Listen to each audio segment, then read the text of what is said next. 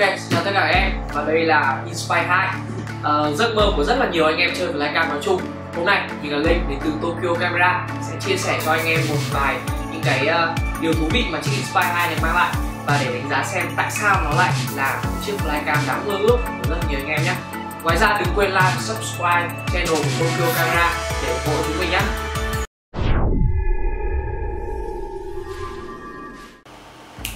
Đầu tiên về ngoại hình của chiếc hộp này chúng ta sẽ có một chiếc hộp bằng xốp rất là cứng và có logo DJI cũng như là uh, dòng chữ Inspire được in uh, nổi rất là cẩn thận này. Đây là một cái phong cách rất là DJI rất là đắt đợt đắt tiền. Và để mở chiếc hộp này ra thì chúng ta sẽ có rất là nhiều những cái khớp này. Mỗi cái khớp thì chúng ta sẽ bấm vào và đẩy nó ra. Có tổng cộng là một hai ba bốn năm sáu sáu cái khớp nối. Đủ để thấy là chiếc Inspire 2 này được đóng hộp chắc chắn đến như thế nào. Rồi. Và đây là chiếc Inspire 2 wow cực kỳ ấm hố. Gì phép để uh, chiếc hộp này sang một bên. Wow và đến nhân vật chính của chúng ta. Uh, chiếc Inspire 2 đây. Anh em nhìn thấy không ạ? Đen xì luôn trông nó như kiểu là người ngoài hành tinh vậy. Để tạm sang một bên. Chúng ta sẽ nói tiếp về những cái đồ ở trong cái hộp này nhá. Thì uh, chủ sở hữu của chiếc Inspire 2 này thì đã trang bị một chiếc màn hình Crystal Sky. Đây là phiên bản à, uh, 7.85 inch có nghĩa là gần 8 inch đấy.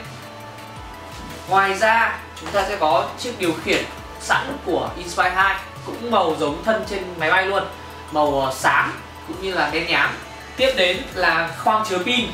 Uh, chiếc hộp này thì sẽ cho chúng ta uh, rất là nhiều khoang chứa pin. Tôi thấy còn bên này nữa nhưng mà ở trên uh, chiếc Inspire 2 này thì chúng ta sẽ có uh, tổng cộng là 4 4 uh, viên pin uh, chia làm hai cặp.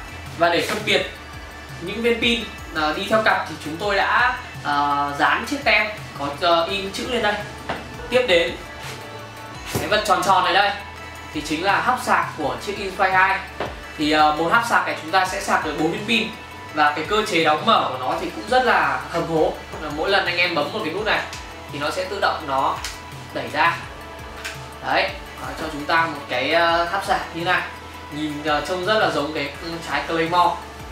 Ở trong cái khoang này thì chúng ta sẽ có cái bộ sạc 100W của Inspire 2 giúp chúng ta cấp đủ nguồn để sạc uh, 4 viên pin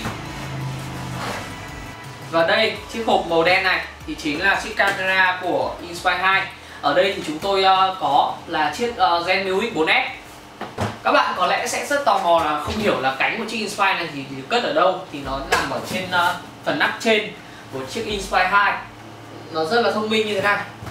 Để vào một chỗ mà chúng ta có vừa có thể dễ nhìn mà không tốn nhiều diện tích. Đây chúng ta sẽ có hai bộ cánh để kích hoạt chiếc Inspire 2 này lên thì chúng ta sẽ lắp chiếc màn hình Crystal Sky vào tay điều khiển.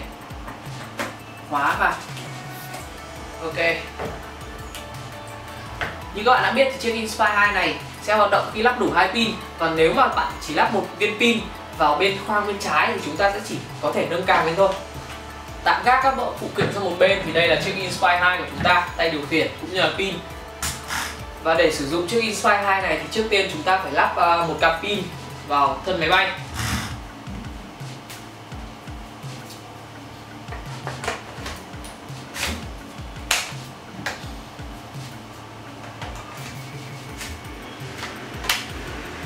Ok, Sau khi lắp một cặp pin rồi thì chúng ta vẫn chưa thể lắp chiếc camera này vào đây, Mà chúng ta phải nâng cái càng này lên để có khoảng trống ở dưới.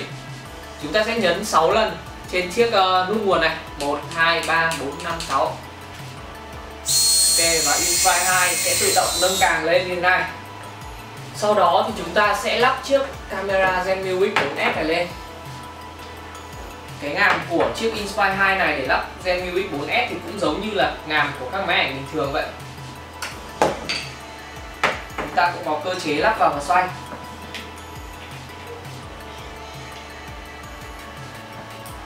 ok. Và sau khi chúng ta lắp xong thì chúng ta sẽ bật lên.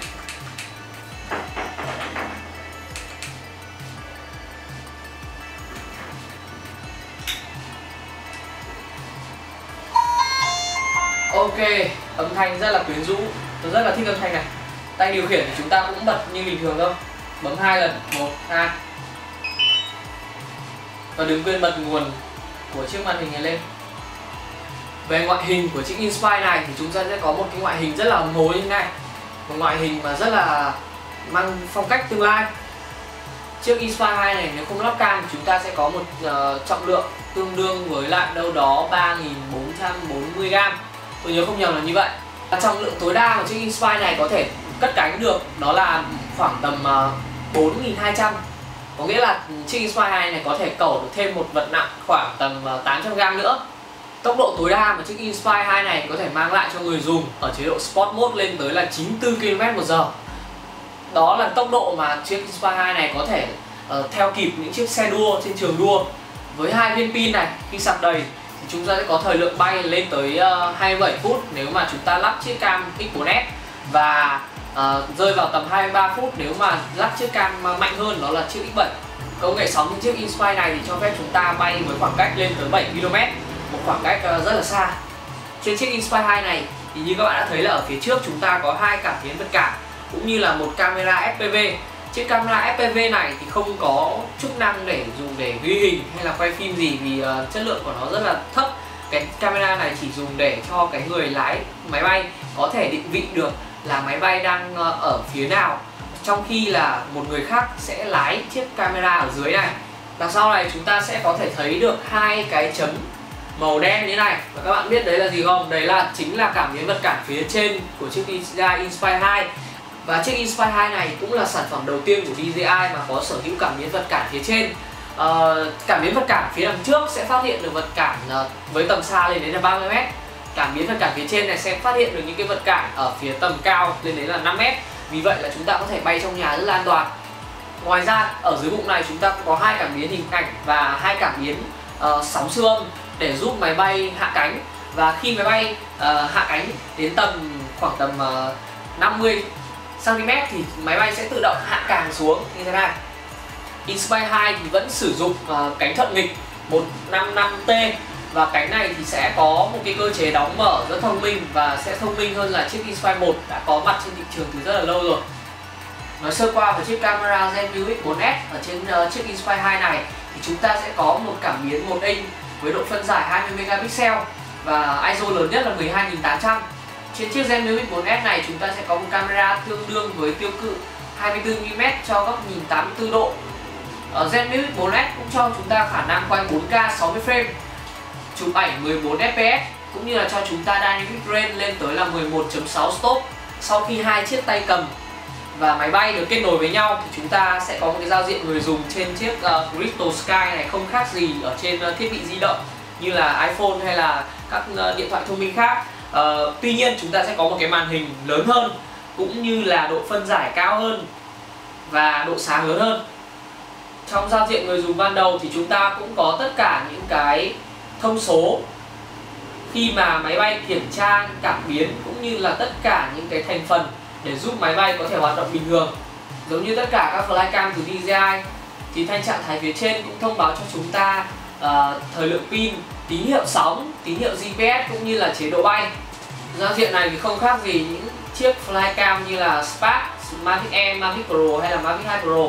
Tôi sẽ không nói nhiều thêm về cái giao diện này nữa vì chúng ta đã rất là quen thuộc rồi. Trong phần Remote Controller Setting thì chúng ta cũng sẽ có một mục để chúng ta link thêm một tay điều khiển nữa tức là chiếc Inspire 2 này có thể hoạt động với hai chiếc tay điều khiển một lúc. Trong đó một phi công sẽ chỉ lái máy bay thôi và một phi công khác sẽ lái cái cam này. Cơ chế này sẽ giúp cho cái quá trình làm phim trở nên chuyên nghiệp hơn bao giờ hết. Trong giao diện quản lý pin chúng ta sẽ có thông số của cả 6 cell pin mỗi viên pin cũng như là nhiệt độ uh, điện thế. Ngoài ra thì cũng sẽ có những cái tùy chỉnh về mức pin uh, cảnh báo cũng như là thời gian để xả pin trong chế độ bay thông minh thì chúng ta sẽ không có quá nhiều tùy chọn bởi vì chiếc Inspire 2 này thì hướng đến những người dùng chuyên nghiệp và chủ yếu là họ sẽ bay bằng tay bay thủ công chứ không cần sự trợ giúp quá nhiều của những cái chế độ bay thông minh. Chiếc Inspire 2 này thì cho chúng ta tùy chọn là có thể quay ProRes hoặc là RAW nhưng mà để mà mở khóa uh, chế tính năng này thì chúng ta sẽ phải mua thêm một cái gói ở trên uh, store của DJI ngoài ra thì chúng ta có thể lắp một cái thẻ nhớ microSD ở phần này vì vậy là chiếc Inspire 2 này có cho chúng ta khả năng dual recording, có nghĩa là vừa ghi vào chiếc micro SD vừa lưu vào SSD ở tất cả bốn càng của chiếc Inspire 2 này thì đều có đèn trạng thái, cũng như là ở phần phía sau của máy bay. Điều này thì giúp cho phi công quản lý chiếc máy bay của mình tốt hơn và sẽ không bị mất dấu trong bất kỳ trường hợp nào. Ở bên thân, bên phải máy bay thì chúng ta sẽ có một cổng USB giúp cho kết nối ra các thiết bị khác và nút uh, kết nối nút pe. Uh, khi mà nút pe ở đây báo màu xanh có nghĩa là tay điều khiển và máy bay đang kết nối với nhau. Và nếu mà báo màu đỏ thì chúng ta sẽ thực hiện cái nút này giống như nút linking ở trên Mavic Pro. Ngoài ra ngay bên cạnh chiếc cảm biến phía trên của chiếc Inspire 2 này thì sẽ là nút để chúng ta có thể đẩy viên pin này ra.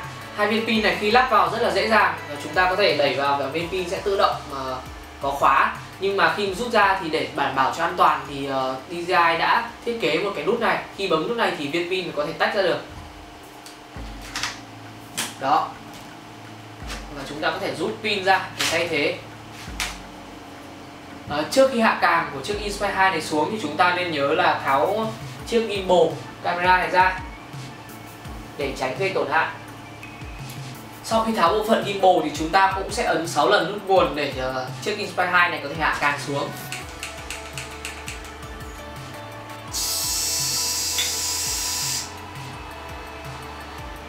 Sau đó sẽ bấm vào nút phía bên cạnh cảm biến vật cản phía trên để uh, hai viên pin này có thể tách ra.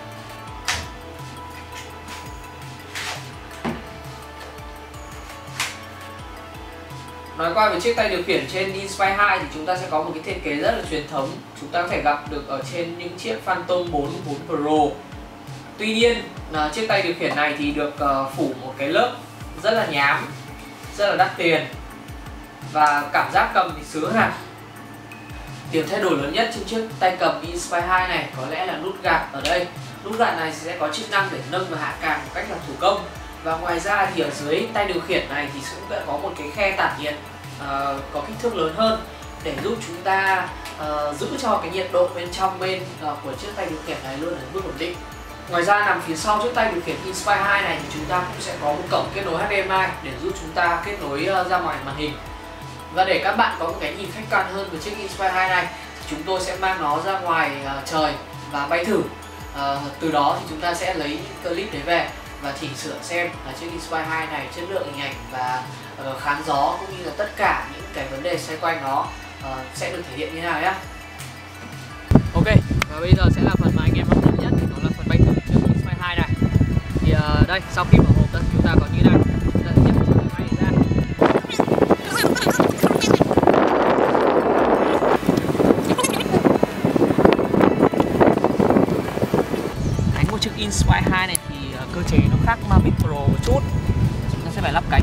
xoay cái ngàm chứ không phải là xoay cái cánh.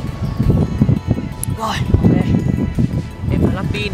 Như anh em đã biết là chiếc Inspire 2 này sẽ sử dụng hai viên pin một lúc. Và nó theo cặp.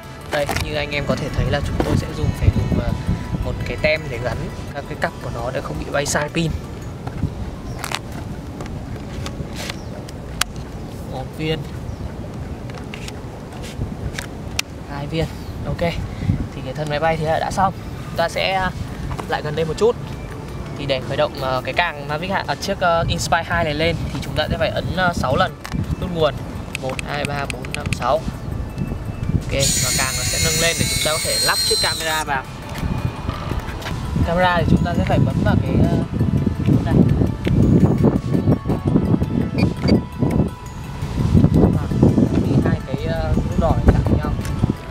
điều khiển khá là nặng để chúng tôi phải đeo ở cổ thao tác bật thì cũng giống như tất cả các chiếc Mavic ờ, Pro hay là tất cả các sản phẩm DJI thôi. Đây, anh có thể thấy chiếc ờ, Crystal Sky này rất tốt ở môi trường bên ngoài.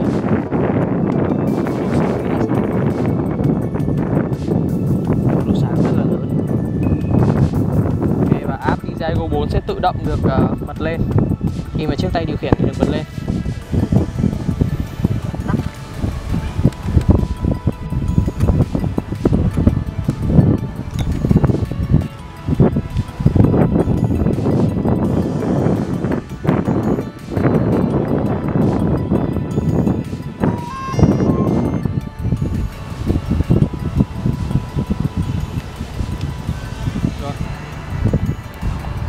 Ok, sau khi bật uh, chiếc tay điều khiển và chiếc flycam của chúng ta lên thì chúng ta có thể bắt đầu bay được rồi. Tay điều khiển đã báo go fly rồi. Rồi. Tôi xin phép là cho độ sáng lên để anh em có thể nhìn thấy. Đây là độ sáng nhỏ nhất nhé. Độ mà sáng nhất thì chúng ta để như này. Nhưng mà rất là sáng để anh làm việc bên ngoài luôn.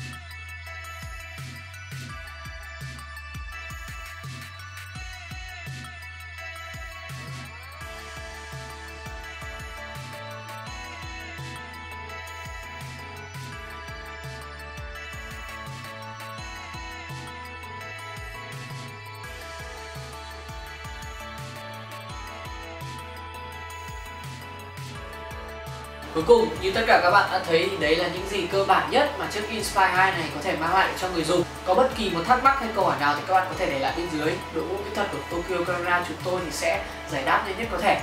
Hẹn gặp lại các bạn trong những video tiếp theo. Xin chào!